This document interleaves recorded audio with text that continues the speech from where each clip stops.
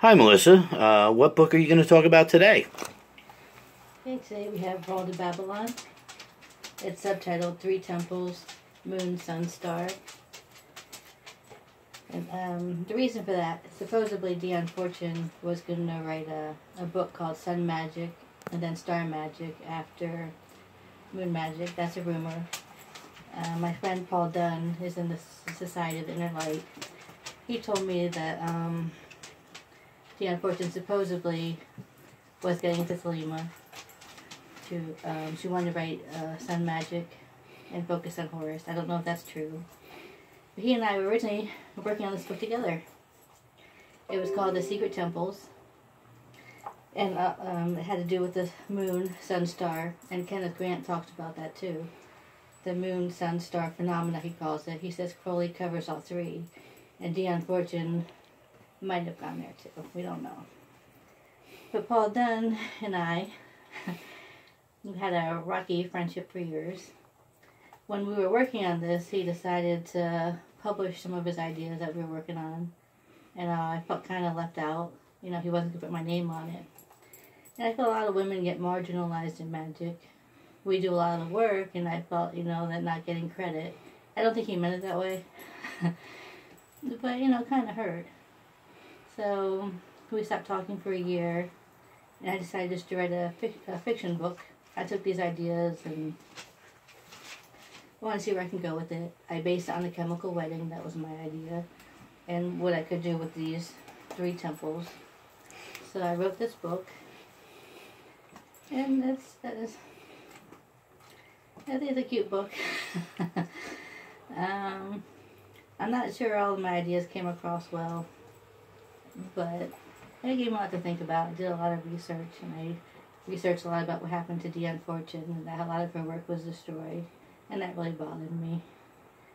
And um, I have a lot of the history in these letters between Paul Dunn and I, and Alan Richardson, another author on Dion Fortune, and we shared a lot of um, the rumors and what goes on, what went on behind the scenes. I haven't published this yet. This one's called Vanishing Bonfires in the Garden of Venus. Um, I haven't published it yet, but um, one day I hope to. And I hope they're okay with me publishing this. But after this book, Paul Dunn and I tried to work again on the book. We spent a year writing the magical systems of Aleister Crowley and Dion Fortune. And originally we were supposed to have it published by a publisher. After waiting two years, and the publisher stopped talking to me, we didn't think it was going anywhere. He didn't want to self-publish it. So this book has just been uh, sitting out there. I would love to publish it one day, and I hope he lets me. Until then, I took my half of the book. we wrote side-by-side chapters. So I published mine as Aleister Crowley, One Woman's Approach. And I spent a lot of time on this, and I really would like to unify the book again, put it out as a whole, because then you can say you can see where I went with my half of the book, and I really wanted his to kind of balance off each other. You know, he was a man writing about Dion Fortune. I was a woman writing about Crowley. We wanted to capture differences and do something different, you know, something no one has done before. So I'm hoping one day I can publish this. Go back to of Babalon. This is the older version.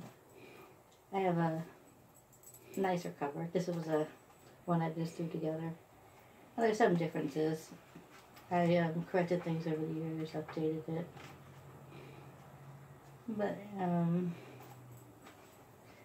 you know, I, I really think there's something here if you want to know more about Dion Fortune, the things that, that are routinely discussed. Back when I was younger, in my 20s reading about her. I didn't know any of this history. I didn't know a lot of her works were burned.